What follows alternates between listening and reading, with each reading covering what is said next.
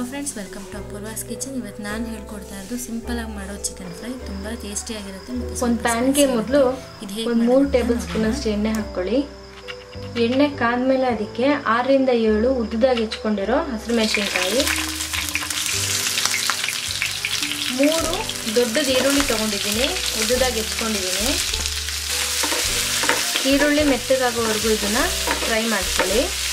ಹಸಿರು ಮೆಣಸಿನ್ಕಾಯಿ ನಿಮ್ಮ ಖಾರ ನೋಡ್ಬಿಟ್ಟು ಹಾಕ್ಕೊಳ್ಳಿ ಖಾರ ಕಮ್ಮಿ ಬೇಕಂದರೆ ಕಮ್ಮಿ ಇನ್ನೊಂದು ನಾಲ್ಕರಿಂದ ಐದು ಹಸಿಮೆಣ್ಸಿನ್ಕಾಯಿ ಹಾಕ್ಕೊಳ್ಳಿ ಸಾಕು. ಇದಕ್ಕೆ ಒಂದು ಅರ್ಧ ಕಟ್ಟಷ್ಟು ಪುದೀನ ಸೊಪ್ಪು, ಸ್ವಲ್ಪ ಮೆಂತ್ಯ ಸೊಪ್ಪು, ಜಾಸ್ತಿ ಹಾಕ್ಕೊಬೇಡಿ ಮೆಂತ್ಯ ಸೊಪ್ಪು, ಸ್ವಲ್ಪ ಕಹಿ ಬಂದ್ಬಿಡುತ್ತೆ. ಸೊ ಒಂದು ಸ್ವಲ್ಪ ಹಾಕ್ಕೊಳ್ಳಿ, ಒಂದು ಎರಡು ಟೇಬಲ್ ಸ್ಪೂನ್ ಅಷ್ಟು ಸೊಪ್ಪು ಹಾಕ್ಬಿಟ್ಟು ಒಂದು ಎರಡು ನಿಮಿಷ ಫ್ರೈ ಮಾಡಿ. ಇದಕ್ಕೆ ಇವಾಗ ಒಂದು ಸ್ಪೂನಷ್ಟು ಶುಂಠಿ ಬೆಳ್ಳುಳ್ಳಿ ಪೇಸ್ಟ್ ಹಾಕ್ಕೊಳ್ಳಿ. ಇದನ್ನು ಕೂಡ ಒಂದು ಎರಡು ನಿಮಿಷ ಫ್ರೈ ಮಾಡ್ಕೊಳ್ಳಿ. ಸ್ವಲ್ಪ ಹಸಿ ವಾಸನೆ ಹೋಗೋವರೆಗೂ ಶುಂಠಿ ಬೆಳ್ಳುಳ್ಳಿ ಪೇಸ್ಟ್ ಆದಮೇಲೆ ಇದಕ್ಕೆ ಚಿಕನ್ ಹಾಕ್ಕೊಳ್ಳಿ. ನಾನು ಒಂದು ಅರ್ಧ ಕೆ ಜಿಯಷ್ಟು ಚಿಕನ್ ತೊಗೊಂಡಿದ್ದೀನಿ. ಒಂದು ಕಾಲು ಸ್ಪೂನಷ್ಟು ಅರಿಶಿಣದ ಪುಡಿ ರುಚಿಗೆ ಎಷ್ಟು ಬೇಕು ಅಷ್ಟು ಉಪ್ಪು ಹಾಕ್ಕೊಳ್ಳಿ. ಎಲ್ಲದನ್ನು ಚೆನ್ನಾಗಿ ಮಿಕ್ಸ್ ಮಾಡ್ಕೊಳ್ಳಿ.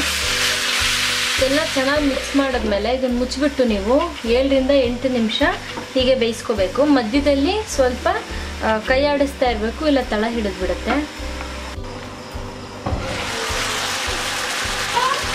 ಇನ್ನೊಂದ್ಸರಿ ಚೆನ್ನಾಗಿ ಮಿಕ್ಸ್ ಮಾಡ್ಕೊಳ್ಳಿ.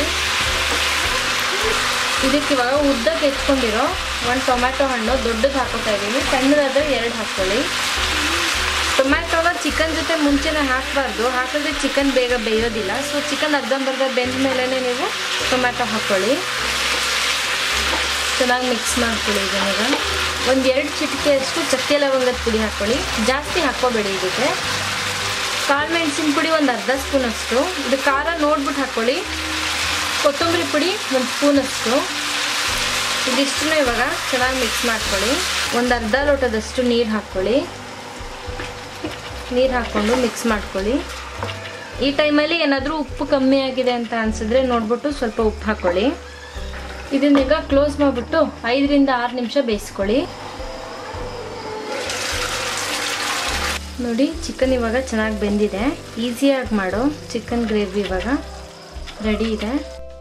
ಈ ವಿಡಿಯೋ ನಿಮ್ಗೆ ಇಷ್ಟ ಆಗಿದ್ರೆ ಲೈಕ್ ಮಾಡಿ ಕಮೆಂಟ್ ಮಾಡಿ, ಹಾಗೆ ಸಬ್ಸ್ಕ್ರೈಬ್ ಆಗೋದನ್ನು ಮರಿಬೇಡಿ. Thank you for watching this video